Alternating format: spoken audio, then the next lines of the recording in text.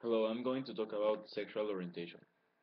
Sexual orientation is an enduring pattern of romantic or sexual attractions or a combination of these to persons of the opposite sex or gender, the same sex or gender, or to both sexes or more than one gender. These attractions are generally sub, sub, submuted under heterosexuality, homosexuality, and bisexuality.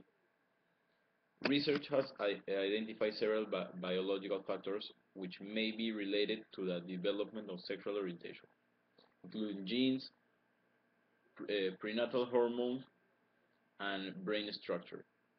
No single controlling cause has been identified and research is continuing in this area.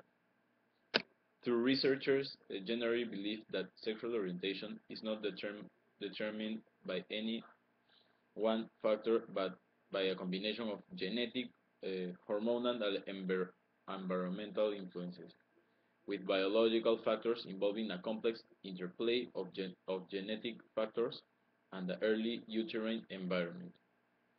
They favor, they favor biological models for the cause.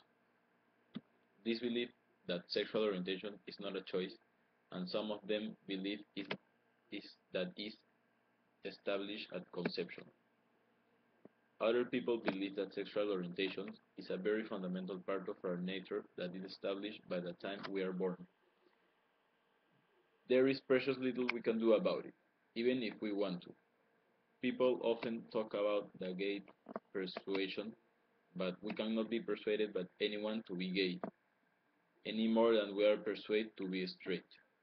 We are what we are, and no amount of seduction contagion, preaching, or coercion, or therapy is likely to make much difference. Uh, these two ideas are, they rebut one another. Uh, I can't take any position in this subject, but as a conclusion, I can say that uh, no matter what polit political party you follow, no matter what church you believe, in, no matter what the color of your skin is, a person should be never prejudge another human being only by his sexual orientation. This topic should be as normal as what, as what to wear for school or what to study. The world is in constant evolution, and we may never find a source of this, but we must guide our consciousness into not criticizing other people's choice and be more open and understanding we must position, position things in the way we we ne we should never position things uh, if if a person is gay or straight, but we must focus on other person's manners and educations.